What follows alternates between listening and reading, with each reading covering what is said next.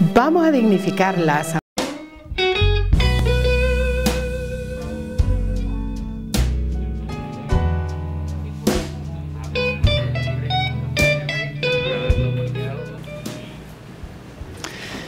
Vamos a hacer el cóctel de esta semana, Juan Carlos.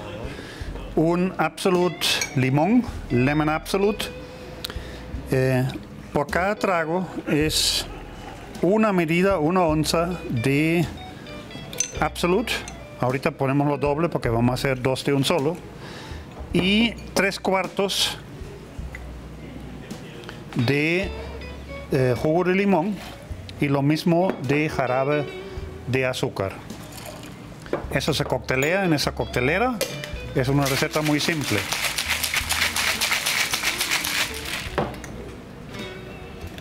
Y después se ponen a cada uno tres o cuatro rodajas de limón cortado. Dos, tres. Listo.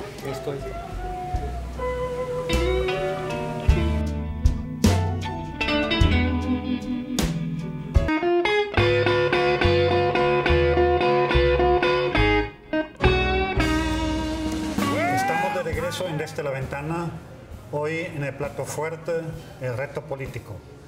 Tenemos ahorita el gran honor de tener aquí a David Mojía Payés, general retirado, ministro de Justicia y Seguridad y una de las gente más ocupada en este país, me imagino. Bienvenido, David. Gracias, Pablo. Gracias por la invitación. Gracias a los Nos acompañan los dos eh, de las secciones anteriores. Salvador, eh, disculpe, Rodrigo Samayoa, ambientalista, y el artista Luis Lazo. Mire, no hace falta mucho presentarle a usted. Eh, ha sido coronel en el ejército. El presidente Sol se negó por razones que nunca nadie entendió de subirlo a general. Hubo un pleito ahí. Se retiró. Fundó un partido eh, que se llamaba Acción Popular. Acción Popular. No prosperó mucho en las elecciones. Apareció en la política otra nuevamente apoyando a Shafiq Handal, padre, cuando era candidato. Y hace tres años como aliado de Mauricio Funes en su campaña electoral. Fue nombrado ministro de Defensa, le dio de alta, lo ascendió al final a general y luego eh, causó baja y asumió a petición del presidente de la República la, el Ministerio de Justicia y Seguridad. Vaya, esto es muy condensado. Es una buena descripción. Ok. A partir de esto hubo una controversia que todavía existe sobre militarización o no militarización de la PNC y de la seguridad pública. Como esta es la sección de reto, yo no me atrevo de ponerle más reto de la que ya tiene. Usted tiene el reto más grande que alguien puede tener en este país. Le hago dos preguntas. Primera, defíname la esencia de dos conceptos, civil y militar. Y segundo, en su nuevo reto como ministro de Seguridad, defíname éxito. Yo tengo entendido que los militares nunca se meten en una batalla sin antes definir qué es éxito y qué es, eh, y qué es eh, derrota. Sí. Y tercero, cómo salir. Entonces empezamos con el primero, el concepto de civil y militar. Sí. Bueno, mira, tal vez estableciendo una diferencia o un parangón igual. Eh, la diferencia entre un civil y militar está un poco en la escala de valores, porque los valores que tiene un militar son diferentes a los que tiene un civil. Eh, para comenzar, los militares son los únicos que eh, juran servir a su patria aún a costa de sus vidas y tienen valores importantes como la disciplina, el honor militar, el espíritu de cuerpo, el compromiso a la palabra dada, el orgullo militar, el sacrificio. En e, estos son valores que, que son vigentes de, de, por vida. No dependen si uno está de alta o de baja o tenga uniforme o no. Sí, lo que pasa es que forman parte de tu formación y tú crees en ellos y los interiorizas. En el ámbito civil la situación es un poco diferente. Obviamente hay valores como la, la honestidad, el trabajo, el respeto a los superiores, el respeto a los padres, pero en ningún momento sabes tú de que estás obligado y lo asumís como tuyo, dar tu vida por el país. Esa, digamos, es alguna de las diferencias entre los civiles y los militares, esa escala de valores.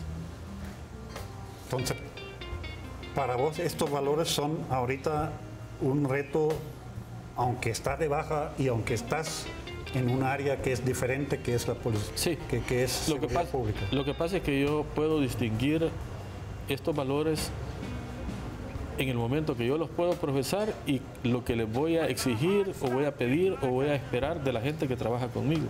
O sea, no le, no le, voy a pedir a, una persona que se comprometa a dar su vida por una causa, así como yo lo tengo. Eh, ni le voy a pedir a una persona que trabaje 16, 18 horas como yo estoy acostumbrado a trabajar, eh, a una persona que tiene eh, un trabajo y él sabe que sus derechos son los que le establece su trabajo, es decir, va a trabajar durante ocho horas al día y va a terminar y si tú le dices que tiene que seguir trabajando más, él te va a decir que no está obligado a hacerlo porque hay un contrato y eso es lo que tiene que hacer. Ok, David. Eh, quizás, quizás estos conceptos nos sirven a todos algo en esta permanente discusión sobre civiles y militares en seguridad pública. Eh, aquí te sirvieron un, un, cóctel que nosotros vamos a tomar porque eh, ya el ministro me informó que él no toma. Y no es porque esté de servicio, sino simplemente no toma. Sí, bueno, yo no tomo licor, algunas veces una copa de vino con la comida, dos copas de vino, pero eso es todo. Esto es una cosa más fuerte. Tampoco fumo, nunca he probado un cigarro en mi vida, ni me he tomado una cerveza en mi vida. Vaya, pero no te da permiso de brindar. No, y vamos a brindar aquí. Brindamos por el éxito de su gestión. Salud. Bueno, la siguiente pregunta que no te contesté es cómo definimos el éxito. Vamos a esto. El, el, éxito se define en función de las metas que tú te trazas. Yo creo que el individuo debe tratarse, debe de trazarse metas en su vida. Y yo cuando asumo la seguridad pública es lo primero que hago, trazarme metas. Entonces, el éxito estriba en el cumplimiento total pero ahorita en concreto, asumiendo lo que usted asumió y tomando en cuenta la meta que definió, bajar incluso en número 30% los homicidios, ¿cómo define derrota, cómo define éxito? ¿Y cómo es la salida?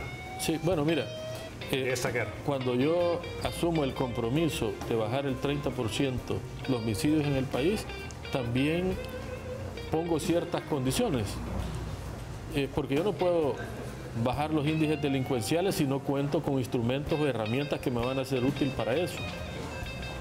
Yo digo, necesito sacar la agenda de la agenda partidaria el tema delincuencial.